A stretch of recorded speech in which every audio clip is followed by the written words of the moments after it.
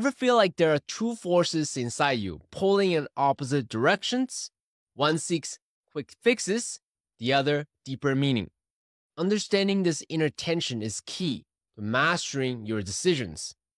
Picture this within you, there's a lower self driven by survival instincts. Is impulsive, craving quick satisfaction, comfort, pleasure, avoidance of pain.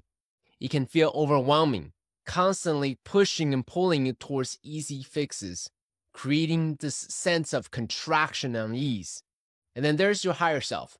The part of you represents your true potential. Is calm, is clear minded, driven by purpose, seeking long term fulfillment, peace, and joy. When the higher self leads, the right choices seems obvious, almost stupid simple. It's like comparing the overwhelming chaos of a crowded street market, your lower self, to the serene clarity of a mountain peak, your higher self. If you struggle with your inner critic, it might be steering you towards your lower self. Comment critic, and I'll send you a test to measure its impact on your life. It's time to gain control and move towards your higher self.